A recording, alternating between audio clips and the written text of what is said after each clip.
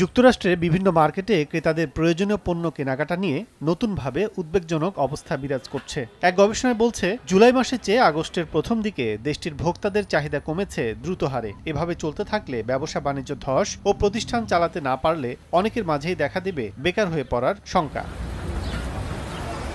শুক্রবার দেশটির এক বিশ্ববিদ্যালয়ে করা জরিপের তথ্য অনুযায়ী অর্থনীতির জন্য উদ্বেগজনক চিহ্ন হিসেবে আমেরিকানরা ব্যক্তিগত আর্থিক অবস্থা থেকে মুদ্রাস্ফীতি এবং কর্মসংস্থান নিয়ে এমন তথ্য দিয়েছে যা যুক্তরাষ্ট্রের অর্থনীতির জন্য ঝুঁকিপূর্ণ। এতে বলা হয়, জুলাই মাসে ভোক্তাদের চাহিদার পরিমাণ ছিল যেখানে একাশি দশমিক দুই শতাংশ, সেখানে আগস্টের প্রথমার্ধেই প্রায় দশ শতাংশ কমে দাঁড়িয়েছে সত্তর দশমিক দুই শতাংশে। ভোক্তা চাহিদার এমন অবস্থা দুই হাজার এগারো সালের পর সর্বনিম্ন। প্রতিবেদনটি প্রকাশের পরপরই মার্কিন স্টক মার্কেট সূচকগুলি হ্রাস পেয়েছে। আর গত পঞ্চাশ বছরে সূচকের এমন বড় ধরনের পতন হয়েছিল দুই হাজার সাত থেকে দুই হাজার নয় মন্দার কারণে এবং দুই হাজার বিশ সালের মহামারীর শুরুতে এপ্রিলে শাটডাউনের প্রথম দিকে।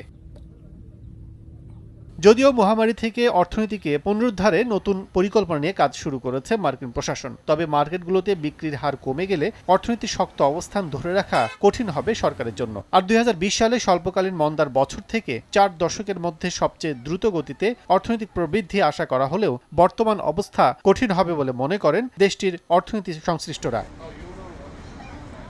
এদিকে যুক্তরাষ্ট্রে গত দুই সপ্তাহে দ্বিগুণ হারে সংক্রমিত হয়েছে ডেল্টা ভ্যারিয়েন্ট এতে শ্রমিক ঘাটতি হওয়ায় নিয়মিত কাজ করাও কঠিন হয়ে পড়েছে দেশটির পরিষেবা খাতে।